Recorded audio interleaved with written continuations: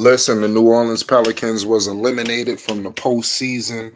We all know Brandon Ingram is just taking over the headlines right now with his future pretty much uncertain after the quotes that he made.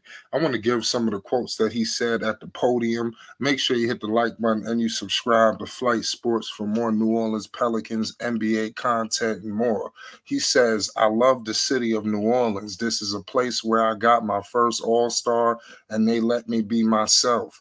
I've got good relationships around here, but you never know. I'll take a few weeks off and think about what's best for me and my family and take it from there.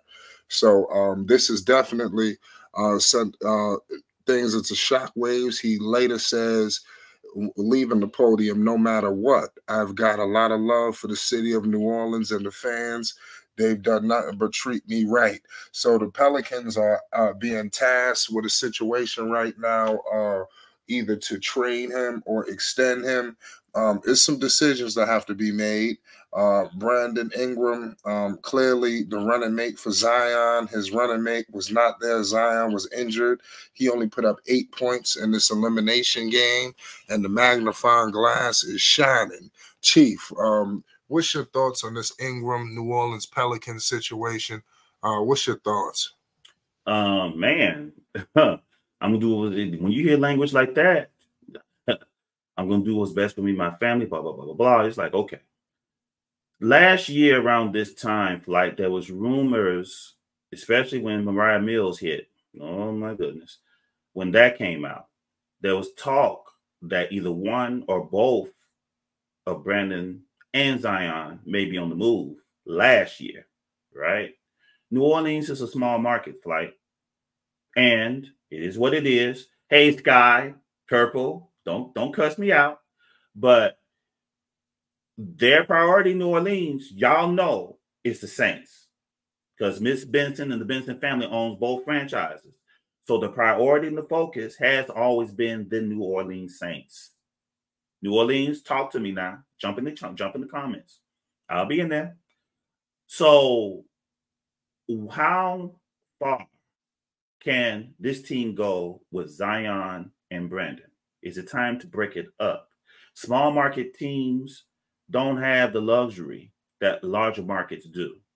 Like, so if they're looking to tie money in to players, they got they got Zion's contract with so many different types of clauses in it that they can cut Zion. Hey, y'all go look at look up Zion's contract and see how New Orleans can really, you know, they can move Zion if, if he's overweight or whatever. They all that stuff is in his contract. So with Brandon Ingram, I don't know.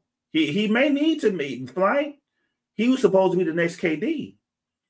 If he can't get it done, he may need to go to a place where maybe his role will be a little different.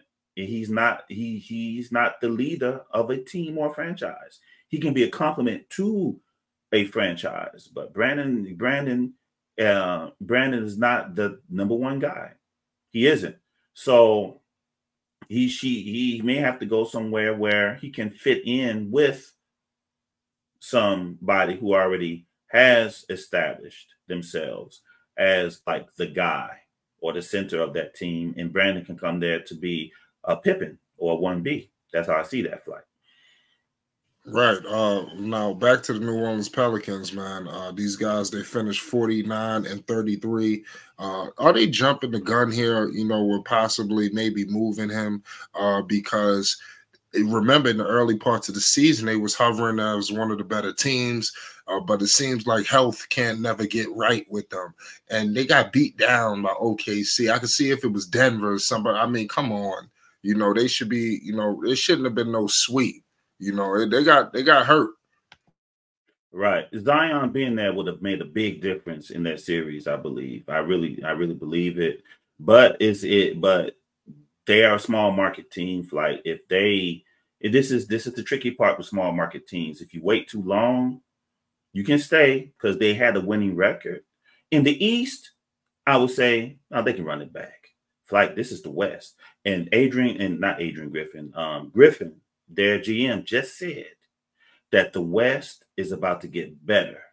And Griff has already come out publicly today, Flight, and said that the Pelicans about to be make radical changes. So that ship has sailed. You know, Griff is publicly saying they're making changes to the Pelicans. Now, does that involve trying to keep that core, at least of Brandon, Ingram, and Zion together? Or are they going to look for someone new to run with Zion? We'll see. You know, we'll see we'll see flight, you know, but but age, but uh, but Griffin, he's already he's uh, Griffin is already talking talking like um they tried this last year. So just kind of what he said. Well, we ran it back last year just to see. Uh, we can't. Yeah, Griffin is talking about we can't run it back again. So they're gonna make some changes. We'll see. We'll see if Brandon if they keep Brandon or not. But the only question is, flight. Even though with things going on the way they did, you have to account for Zion's health. If they move Brandon, CJ McCollum is not going to be enough. They have to get someone back good to hold it down for when Zion is out. It's just the nature of the team. It's the nature of having a team around Zion. It is what it is. If they don't do it, then they may be looking at Zion can play as well as he can, but if it's just him off and on, then they may fall. Zion, uh, Ja Morant will be back next year. Wemby will be improved next year. This is what Griffin is looking at. Job will be back next year. You know, Wemby will be back with, with a top pick by his side next year, whoever they pick, wherever they land. The West, you know, the West is not the West is is now and, with what's going on in, in the playoffs, man. Who will be the king of the West is what the question is being asked now, bro. It is what it is. Right. Uh, we thought Zion Williamson was going to be, you know, um, in the running. It really hurts me that it's happened to Zion because he had a relatively healthy year, you know, compared to what he was going through. Um, you know, I know that it ended bad, but I mean, he was around more. I, he was around more than he was previously you know, and I thought that the, I thought he was finally going to be there. He, he the man went down right before the play. Mm. So I mean, mm. Lord have mercy. I mean, I hated that. that. That's that. I mean, that's what I'm saying. It looked like everything, and I, they may have very well lost to OKC, but they would have never got swept with oh, Zion. No. There would have been no sweep. You know, um, how you think the series would have went with Zion? They would win seven games, and and depending on how Zion played, they may have beaten Oklahoma City. Hey, hey, hey, hey, hey! Jump in the comments.